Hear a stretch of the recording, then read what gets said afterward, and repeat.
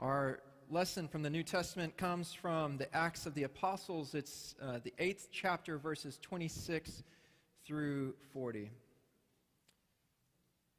Then an angel of the Lord said to Philip, Get up and go toward the south to the road that goes down from Jerusalem to Gaza. This is a wilderness road. So Philip got up and went, and now there was an Ethiopian eunuch, a court official of the Candace, queen of the Ethiopians, in charge of her entire treasury. He had come to Jerusalem to worship and was returning home. Seated in his chariot, he was reading the prophet Isaiah. And then the Spirit said to Philip, Go over to this chariot and join it. So Philip ran up to it and heard him reading the prophet Isaiah, and he asked, Do you understand what you are reading? He replied, How can I unless someone guides me? And he invited Philip to get in and sit beside him. Now, the passage of the scripture that he was reading was this Like a sheep, he was led to the slaughter, and like a lamb silent before its shearer, so he does not open his mouth. In his humiliation, justice was denied him. Who can describe his generation? For his life is taken away from the earth. And the eunuch asked Philip, About whom, may I ask you, does the prophet say this? About himself or about someone else. Then Philip began to speak, and starting with this scripture, he proclaimed to him the good news about Jesus. And as they were going along the road, they came to some water, and the eunuch said, Look, here is water. What is to prevent me from being baptized? So he commanded the chariot to stop, and both of them, Philip and the eunuch, went down into the water, and Philip baptized him. When they came up out of the water, the Spirit of the Lord snatched Philip away, and the eunuch saw him no more and went on his way rejoicing. But Philip found himself at Azotus, and he was passing through the region. He proclaimed the good news to all the towns until he came to Caesarea. This is the word of the Lord. Thanks be to God. Good morning, brothers and sisters. It is beautiful beautiful to see these two congregations gather together in fellowship this morning. I want to first say that I'm so thankful for the pastoral staff, the session, and the servants here of East Liberty Presbyterian Church who have made it possible for us to come and be with you this morning. And along with that, I want to say thank you to my congregation of Eastminster for being present and for our Pastor Paul and Reverend Nikki in our session for also making this possible uh, too. And furthermore, we get the gift of two choirs joining together and singing praise to the Lord Jesus Christ. I think we need to say thank you to Ed and Michael from East Liberty and Nikki and Nemesio from Eastminster uh, for helping this come to pass, and all the crews that that brings it to pass, all the people who sing, the production, all, all of them. It's truly a gift. You know, this is a momentous event if you think about it, for as these two neighboring churches gather together, we are getting to show this neighborhood that for all of our differences, we have something deeper in common, something important, and that is this that we are called by the Lord Jesus Christ to be ambassadors of God's love in word and in action in this neighborhood as faithfully as we can. Now, we might do that differently, but nevertheless, we have a similar call. And so, thank you for participating and gathering in this way on this morning. May there be more to come, and may you be blessed in the common worship of our God. You know, as I was getting ready and thinking about my sermon, I began to think about the paths that we take to get to the places that we go. I imagine that some of you have come in on very familiar roads this morning, and others of you, well, you might have gotten lost coming down the block. Who knows? Sometimes that one unfamiliar street can throw you off. But in all seriousness, there's something about the paths that we take that can shape our lives and determine the places that we go and the people that we will encounter and even the ways that we will understand the gospel of Jesus Christ in this world. There's something powerful about the paths that we take in our day to day lives. A few years back, when I came to Eastminster, I started to take walks through this neighborhood. You see, I'm not from the East End. I'm not even really from Pittsburgh, so don't hold that against me. I was unfamiliar with this place, though, and I wanted to discover its neighborhoods. I wanted to discover its shops and the roads that people travel on as they move through this part of town. And initially, I would go in all different directions. I would walk through the neighborhood of Larimer, then I would go up through Highland Park, then I would come down Baum and Centre and venture into Shady, Shadyside. In other words, I went into a lot of different directions because I had never been here before, and these paths were all unfamiliar to me. But then something began to change. I started to walk upon a path that I liked. I would come down east from Eastminster on Highland Avenue and walk past this church at the intersection of Penn, and then I would go on to Walnut Street, uh, all the way down to Walnut Street, where I would take a left and then go back up the Shady Avenue and then head back this way so that I could walk past Target and the East End Cooperative Ministry until finally I was back at Eastminster. I liked that path. I liked that I knew the amount of time that it would take for me to get back to the church so that I could start my day. I liked that I could see the familiar faces of unfamiliar people because they were out at the same time of day every morning as me, taking the path that they were accustomed to take. And I also liked that I could pray and meditate as I walked along that path because I didn't have to think about where I was going, you know? I liked that path so much that it's the only path I take now whenever I go out for a morning walk. It has become habitual to me so that even when I want to discover something new, I find it challenging to take a different path other than the one that has been carved in my mind for my morning walk. You know, I wonder if you can relate to this in some way. I wonder if you also know the power of the familiar path and how you keep traveling on it because of the habits that you have formed or the efficiency that you have discovered in traveling it or just the scenery that you like to see every day as you go along that same path. There's power in the familiar path to keep us walking on it. And in light of our historic faith, we might say that this is not an altogether bad thing. In fact, the Bible uses the imagery of a path to speak, to speak about the familiar way of our faith and how it can lead us into the goodness and blessings of God's kingdom. I mean, listen to what the psalmist spoke this morning in the reading of Scripture. Make me to know your ways, O Lord. Teach me your paths.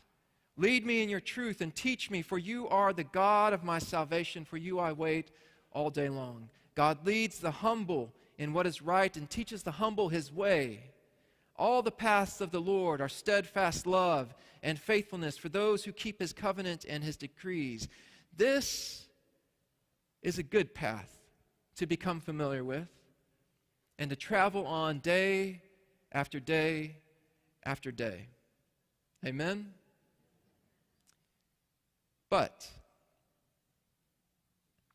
sometimes we travel familiar paths even when they do not bring us in or when they keep us away from what God would have for us. Let me explain.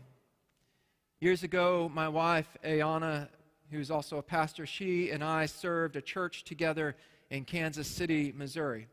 And our church was in an interesting location. It was right next to a street that was called Troost Avenue.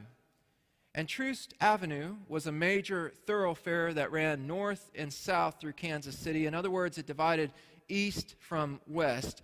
But it was a significant road for different reasons. For Troost was the dividing line between black and white. It was the dividing line between the areas of the city that were resourced and the areas that were allowed to wither away. It was that infamous red line that was put into place in the early 1900s by the local government and banks and home ownership associations that might that they might determine who belonged where and who could thrive or wither according to where they lived in relationship to that street.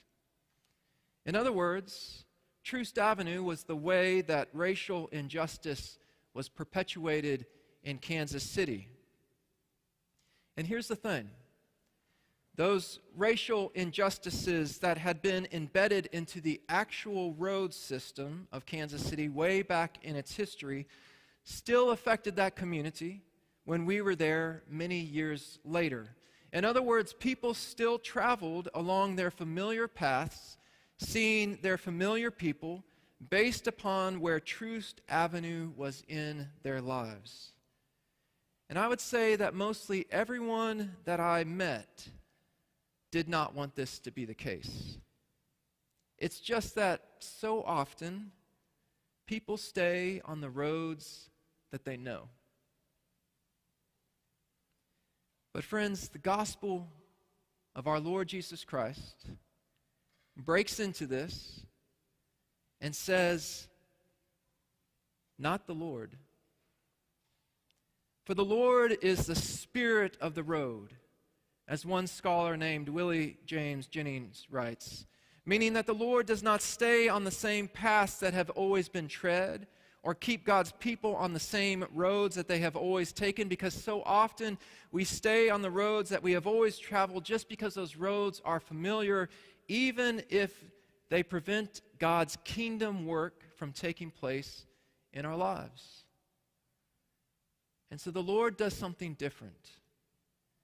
And we get to see that in the book of Acts. For in this story, God's Holy Spirit from the very beginning moves the disciples out onto unfamiliar roads that they might go to unfamiliar places and there encounter unfamiliar people who will reveal to them the transforming love of God in Jesus Christ. I mean, take for instance the story that we read this morning of Philip and the Ethiopian eunuch. It begins with an angel of the Lord saying to Philip, Get up and go down south to the road that goes down from Jerusalem to Gaza, which is a wilderness road. But here's the thing the story does not actually begin there. It begins at the beginning of chapter 8 when we read that a great persecution broke out against the church in Jerusalem, and all except the apostles were scattered throughout the countryside of Judea and Samaria. And those who were scattered went from place to place proclaiming the word. And so, as we pick up with the passage that we read this morning, we need to know that Philip was moved by God's Spirit into an unfamiliar place. We might even say that it was a place that Philip didn't want to go, or a scary place, because as the great reformer John Calvin mentioned in his commentary on this passage, this was called a wilderness road because it led into a land that had been laid waste by the Greek emperor Alexander the Great. In other words, for a Jew, this road would have a lot of bad history on it. But Philip got up and went. In other words, he responded faithfully to God's movement to go check out a new path and see what God might bring forth if he were to respond. So he got up and he went. Brothers and sisters, I don't know if most of you know the history of where this gathering of our two churches came from on this morning. But its genesis happened in a seminary class that I took alongside one of your pastors here at East Liberty Presbyterian Church, and I'm referring to the Reverend Patrice Fowler Searcy.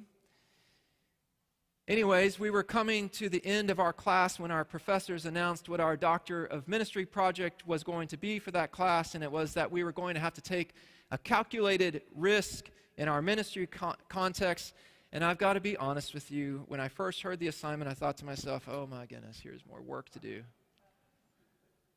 In other words, I was just thinking about it as I've always thought about my other assignments personal and something to get done.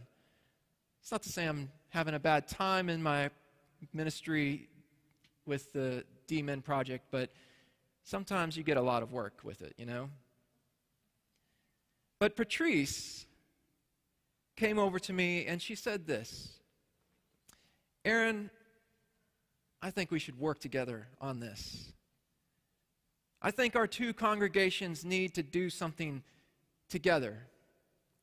And from that, she helped to fashion the idea and bring it about so that our pastoral staffs began to meet and get to know each other better, so that eventually Pastors Randy and Pastor Paul got members of our sessions together and they began to form this idea of a joint worship service between Eastminster and East Liberty Presbyterian Church. All of this because Patrice, our sister, was willing to get out on a new path.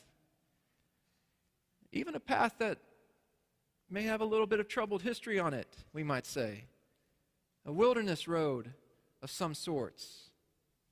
But she was willing to get out on it and check what God might do if she were faithful to that call. Faithful to that call. And what is it that God does when we follow the movement of the Holy Spirit to get on a new path or a new road? What does God do through that? Well, let's look back at the story we read this morning.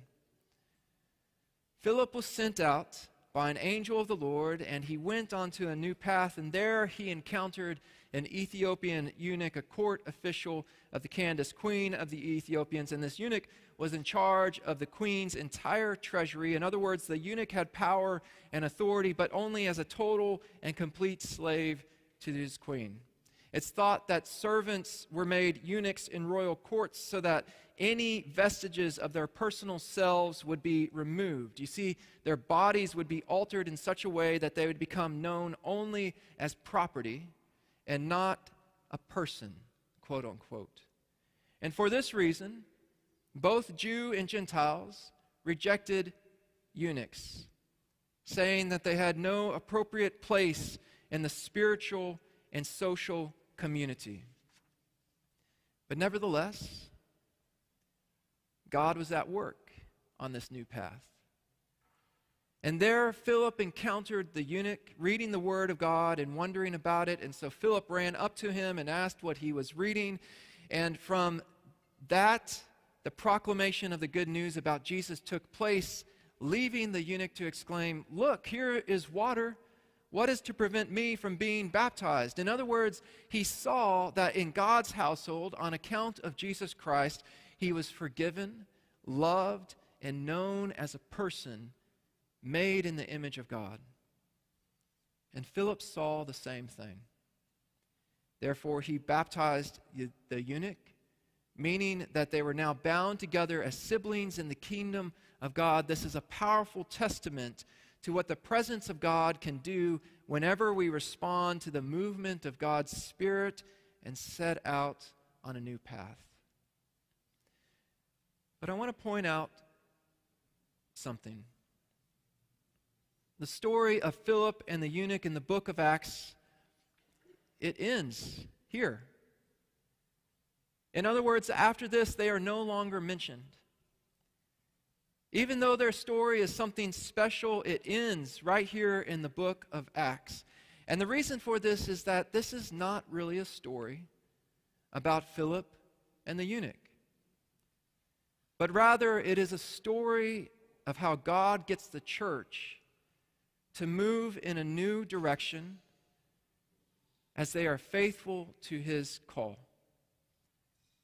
After this story, Saul becomes Paul and is sent out to the Gentile world. After this story, Peter is sent out to Cornelius and his household so that the church comes to understand that God's love in Jesus Christ is not just for them, but for the world. God got Philip onto a new path so that God might bring forth something bigger than Philip and the eunuch.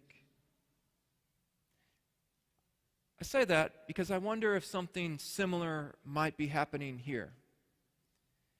I don't want you to get me wrong. I am hopeful that Eastminster and East Liberty will nurture a friendship between our congregations. I'm hopeful that we will deepen our mutual places of ministry in this neighborhood, but I suspect that God is not just about that when it comes to God's church.